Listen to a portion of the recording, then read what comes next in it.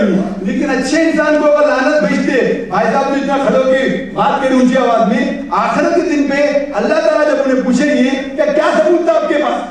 और मैंने ये कहा, फिर मैंने वापस आके जितने दारुल में अक्सर, देवबंद नदवा सब लोग खत लिखा, अहले हदीस, जमात इस्लामी, सब लोगों को लिखा। मैंने कहा, सही कहा? बोला रज़ी अल्लाह मैं अल्लाह की पीस विद आमतौर पे साहबा को कहते, लेकिन नॉन साहबा को भी कह सकते। यजीद के बारे में इख्तिलाफ है। कुछ कहते, करना चाहिए, कुछ नहीं। इमाम गजाली फरमाते हैं, क्या रहीमुल्लाह कहना मुस्तहब है? इमाम गजाली। सब फतवे लिया मैंने। और फिर मैंने कहा, जो भी सही और कहा कि आप देखेंगे जो करबला की जंग थी, कूफा के लोग ने, कूफा के लोग ने हज़रत हुसैन रजील्लाहु उनको बुलाया और उनके साथ साजिश की। अगर आप सही हदीस पढ़ते, उसके अंदर लिखा थे कि हज़रत हुसैन रजील्लाहु वो तीन चीज़ चाहते थे कि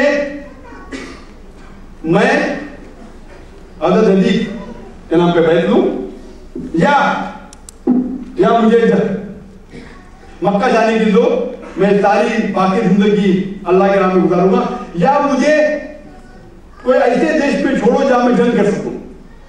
तो वो यजीद की इज़्ज़त करने लगे आखिर में। लेकिन कुफा के लोग जानते थे कि अगर हम पकड़े जाएँगे तो हमारा पोल खुल जाएगा।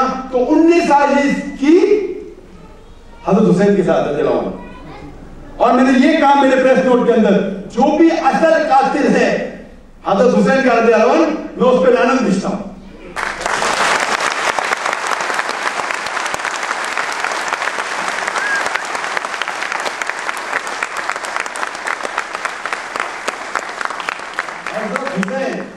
अल्लाह के रसूल के नवासे थे। हम उनकी इज़्ज़त करते वो साहबा में जजरावन कहता हूँ मैं तो मैं कैसा उनके कातिल को करूँ? जो भी असल और सही हदीस से ये साबित होता है कि जब उनको पता चला, यजीद, रहमतुल्लाह को पता चला कि हज़रत हुसैन का कत्ल हो चुका रजील्लाहु तो वो रोए। लेकिन ये सब बात वो लोग नहीं मानते। उनके हदीस की किताब अलग है। वो बुखारी में क्या मानते तो आप लोग उनके साथ मिल जाते अफसोस की बात किससे डर रहेगा आपको ये पाकिस्तान में बहुत कॉमन है कि पाकिस्तान में आमतौर पे झगड़ा फसाद कॉमन है बॉम्बे में होता ही नहीं। कि बॉम्बे में हुआ तो लोगों ने किया, मैं आके अलहमदुलिल्लाह भाई साहब बोलते मैं इंटरनेट पे देखा, मैंने इस पे वेबसाइट पे देखा, क्या देखा? सारे हवाले के साथ।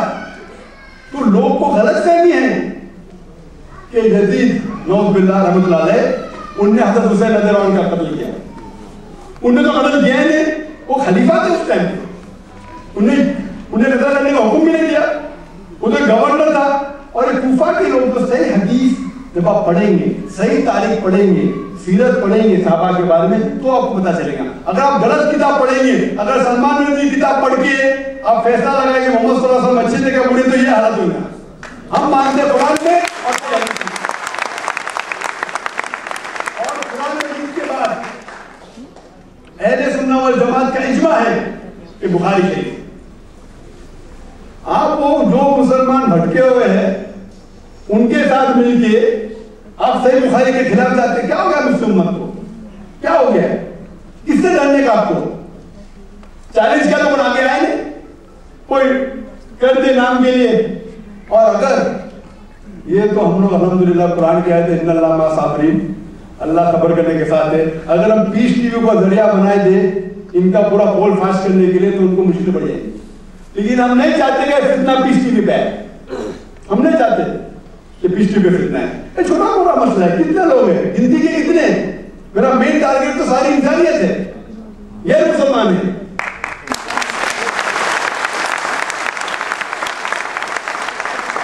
पूछा था कि लोग सवाल पूछना चाहते पूछने दो, बेशक दो।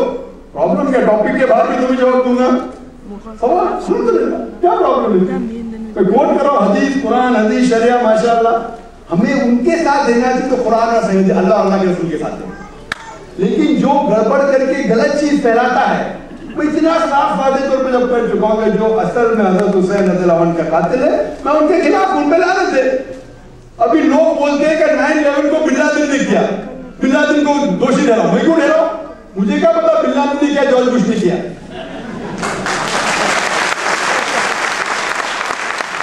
जॉर्ज बुश कहता है with us. आप बिन लादेन को दोषी ठहराओ। मैं क्यों ठहराऊं मैं? मैं जानता हूँ मैं का दोष भी ना दुश्मन भी नहीं हूँ। मैं को गाली दूँ ज़बरदस्ती। तो जो लोग बीबीसी सीएनएन कर रहे, वही लोग ये कर रहे। आप उनके साथ शामिल होते? अफसोस की बात है। क्या हो गया मुस्लिम उम्मत को? अफसोस की बात है। अगर बीबीसी मुझे आज कहती है कि आप लादेन को दोषी ठहराओ। मैं बोलूँगा, जिसने भी तीन हज़ार से ज़्यादा लोग का कत्ल किया है, वर्ल्ड ट्रेड सेंटर में, वो दोषी है। अल्लाह ताला को सजा देगा। इनोसेंट लोग का कत्ल करना हराम है इस्लाम में।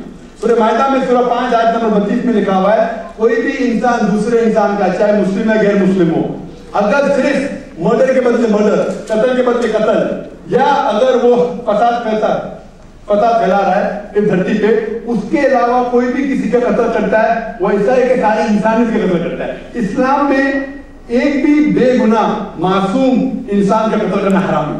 तो जिसने भी वर्ल्ड ट्रेड सेंटर में तीन हज़ार से ज़्यादा लोग का कत्ल किया है, मैं उसको दोषी ठहराता हूँ। मैं मिल्ला का नाम क्यों लूँ?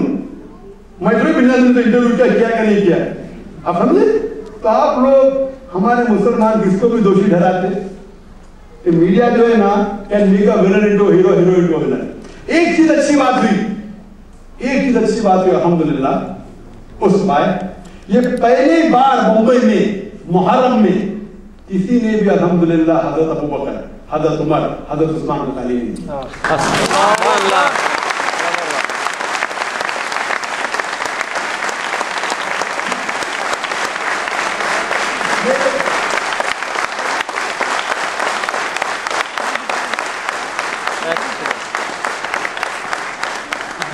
ये लोग का एक अकीदा है कि हमें अक्सर साहबा को गाली देना। और सबसे ज़्यादा नफरत करता हज़रत उमर से। उमर की और हर हर मुहर्रम में ये तीन लोग को गाली देते हैं।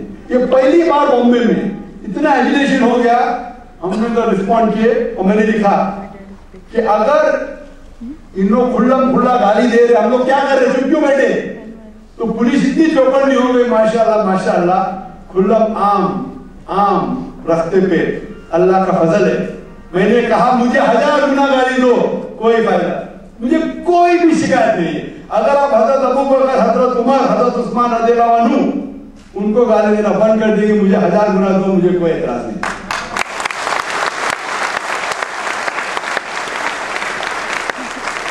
तो ये हकीकत थी, हमें लोग के जाल में, मीडिया के जाल में नहीं आना चाहिए। वो यूट्यूब ये इंटरनेट हमारा पीछे में माशाल्लाह सात करोड़ लोग देखते हैं और हम चाहते नहीं कि इसको हम खराब करें। ये छोटे मोटे मसले से खराब नहीं करना चाहते। और एक चीज़ है कि अक्सर ये लोग ये ये ग्रुप के लोग सही रास्ते पे आ रहे हैं। तो उनको हजम नहीं हो रहा है। जाकिर भाई की बात सुन के सही रास्ते पे आ रहे हैं? इस्लाम पे आ रहे हैं। कुरान से पे आ रहे हैं। तो क्या है उनकी दुकान बंद हो रही है तो इन लोग सोचते हैं और उस कॉन्फ्रेंस में सैकड़ों वो फिरके के लोग थे। क्योंकि चाहते मुझे इन लोग तो वो ये लोग चाहते थे, किस तरीके से अभी डॉक्टर जाकिर नायक को बदनाम करे? इसलिए कुरान की आयत सूर्य इमरान सुल्तान को तीन, आयत नंबर 54 चौपन। मकरो मकर अल्लाह अल्लाह खैर माकरी उन्होंने प्लान किया प्लॉट किया, अल्लाह ने भी प्लान किया, प्लॉट किया। अल्लाह खैर माकरी अल्लाह सबसे अच्छा बेहतरीन प्लान करने वाला है।